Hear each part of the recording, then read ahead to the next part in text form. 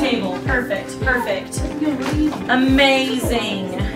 Amazing. This whole table, amazing. My name is Julianne Anthony. I'm a fifth grade math teacher and math department chair at Wheeler Middle School.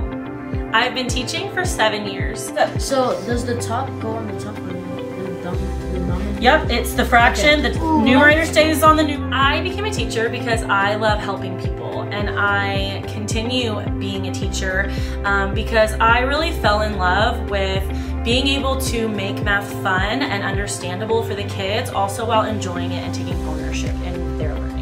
One of the biggest challenges that we face here at Wheeler and district wide is that um, this group of fifth graders that we have right now, specifically, they did a lot of their foundational learning first, second, third grade online due to COVID. Um, so one of the things that we struggle with is like those foundational reading skills. So we do everything that we can in our classes to help build those skills. My math problems, I'm making them answer in complete sentences, making sure it's spelled correctly, punctuation is the way that it should be. So just those cross-curricular skills because they are important across the board. My favorite thing about teaching is taking a hard math concept and breaking it down into steps where the students can get it and then they get excited because they have learned it. My Teacher of the Year message is we have to celebrate our people and our students and all of the amazing things happening.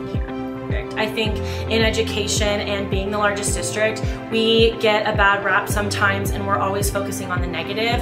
Um, but there are so many important and beautiful things happening within classrooms. So our narrative um, as teachers and as educators and as people who work with children is to highlight the, the good things that are happening, the positive things that are happening